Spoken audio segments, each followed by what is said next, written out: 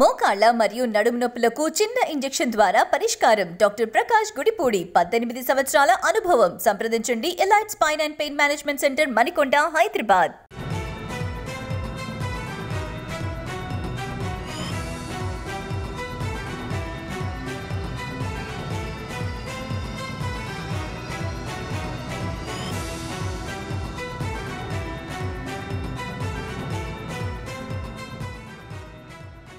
Breaking news చూస్తున్నాం. HMDA మాజీ director Shiva Balakrishna అక్రమాల దర్యాప్తులో సంచలన విషయాలు వెలుగులోకి వస్తున్నాయి.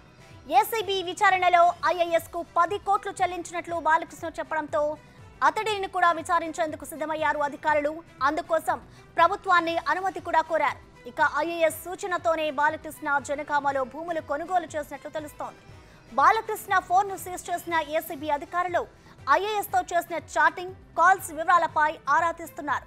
మరోపక్క శివబాలకృష్ణ సోదరుడు సునీల్ షెల్ కంపెనీలు సృష్టించి వాటి ద్వారా లావాదేవీలు జరిపినట్లు కూడా విచారణలో తేలింది. భారీగా బయటపడుతున్న బాలకృష్ణ అక్రమాలతో బినామీ ప్రాపర్టీ ట్రాన్సాక్షన్స్ యాక్ట్ రెండు వేల పద్దెనిమిది కింద చర్యలకు సిద్ధమవుతున్నారు అధికారులు.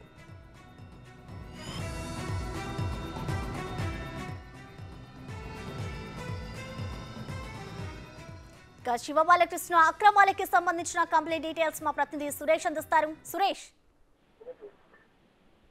శోభాలకృష్ణ ఎనిమిది రోజుల కస్టడీలో చాలా విలువైన సమాచారాన్ని ఏసీబీ అధికారులు రాబట్టడం జరిగింది. ఆయన పనిచేసినప్పుడు హెచ్ఎండిఏలో డైరెక్టర్గా పనిచేసిన సమయంలో ఓ ఐఏఎస్ అధికారి చెప్పిన విధంగానే తాను పనిచేసినట్టు ఆయన ఒత్తిడి మేరకే ఫైల్స్ అన్ని క్లియర్ చేసినట్టు కూడా ఏసీబీ కస్టడీలో చెప్పినట్టు తెలుస్తుంది. దీనికి సంబంధించి ఆ ఐఏఎస్ అధికారికి నగదు రూపంలో చాలా సార్లు పది కోట్ల రూపాయలు చెల్లించినట్టు ఏసీబీ అధికారులకు చెప్పడం జరిగింది. దీనిపైనే ఐఏఎస్ను కూడా విచారించేందుకు ప్రభుత్వ అనుమతి ఏసీబీ కోరింది. దీనికి సంబంధించి ప్రభుత్వ అనుమతి ఇస్తే ఖచ్చితంగా ఆ ఏఎస్ అధికారిని కూడా విచారించి ఈ బాలకృష్ణకి ఉన్న సంబంధాలపైన ఆరా తీయనున్నారు ఏసీబీ అధికారులు. ఇక బాలకృష్ణకు సంబంధించిన ఫోన్ను కూడా సీజ్ చేయడం జరిగింది ఏసీబీ అధికారులు. ఆయన ఫోన్ డేటాను రీట్రీవ్ చేసిన ఏసీబీ అధికారులు. చాలా ఐఏఎస్కి బాలకృష్ణకు జరిగిన ఎస్ఎంఎస్లు అదేవిధంగా ఫోన్ ట్రాన్సాక్షన్కి సంబంధించిన కాల్ డేటాను కూడా సేకరించడం జరిగింది. ఆ ఆ దిశగా ఐసీబీ అధికారులు దర్యాప్తు చేస్తున్నారు. ఈ ఐఏఎస్ ఎందుకు బాలకృష్ణపై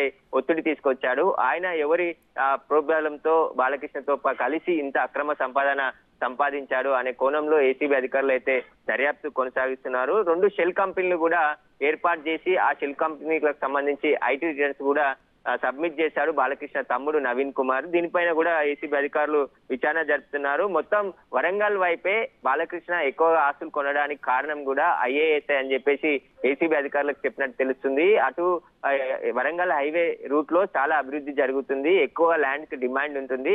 అటే కొనుగోలు చేయాలని చెప్పడంతో నూట రెండు ఎకరాల భూమిని ఒకే చోట కొనుగోలు చేయడం జరిగింది జనగాంలో.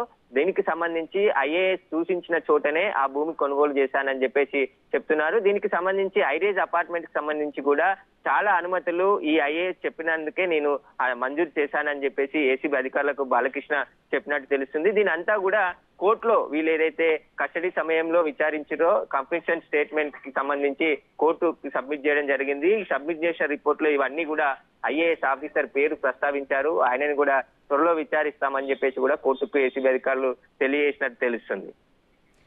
Okay thank you Suresh